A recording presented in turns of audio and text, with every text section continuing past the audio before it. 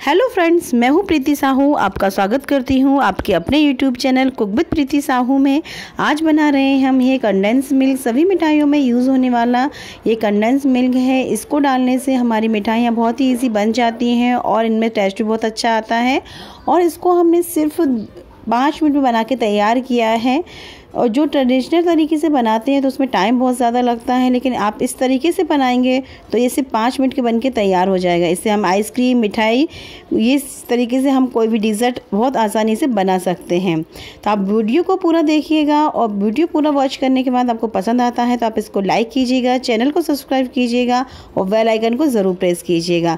चलिए हम स्टार्ट करते हैं कि इस कंडेंस मिल्क को हमने पाँच मिनट में कैसे बनाया है। इसके लिए हमने सबसे पहले दो कप दूध ले लिया है। आप मेज़रमेंट किसी भी बर्तन से कर सकते हैं, कटोरी से भी कर सकते हैं और या आप मेजरिंग कप से भी कर सकते हैं। इसमें मैंने जल्दी से ये हमारा क्विक बहुत जल्दी पाँच मिनट में बन के तैयार हो जाए। इसके लिए यहाँ पे मैंने एक कप मिल्क पाउडर डाला है।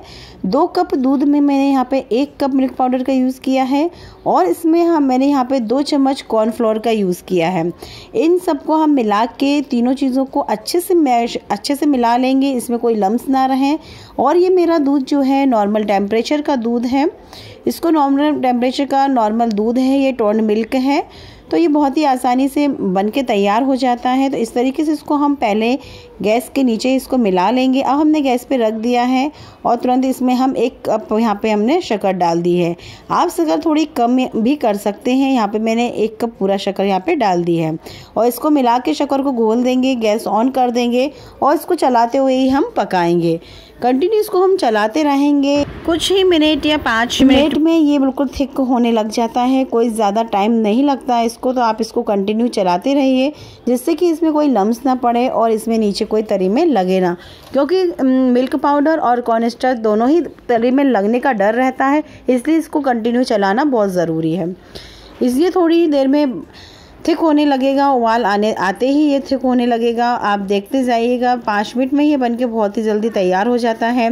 इस इस कंडेंस मिल्क से बहुत ही अच्छी मिठाइयाँ और हम डिज़र्ट बना के तैयार कर सकते हैं। आइसक्रीम बनाने में हम इसका यूज़ कर सकते हैं और बनाना भी इतना आसान है इस कंडेंस मिल्क को। इसमें एक ज़रूरी बात है, ये जब ये बन जाता है कंडेंस मिल्क इस स्टेज में आ जाता है। जब इसमें मैंने एक चुटकी बेकिंग सोडा डाला है, ये खाने वाला सोडा है, जिसे मीठा सोडा बोलते हैं, इसको इस स्टेज में सबसे आखिरी में डालेंगे, जिससे कि इस कंडेंस मिल्क का कलर वाइट रहेगा।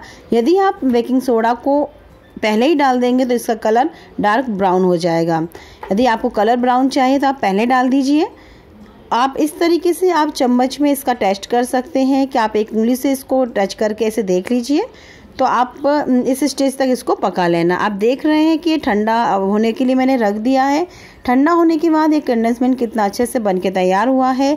पाँच मिनट में ये रेसिपी हमारी बन के तैयार हो जाती है तो आप इसको ज़रूर बनाइएगा और मेरे साथ ज़रूर शेयर कीजिएगा। कमेंट्स करके मुझे बताइएगा। रेसिपी पसंद आई हो तो आप इसको लाइक कीजिएगा चैनल को सब्सक्राइब कीजिएगा बेल आइकन को ज़रूर प्रेस कीजिएगा। मिलते हैं नेक्स्ट वीडियो में, जब तक के लिए थैंक यू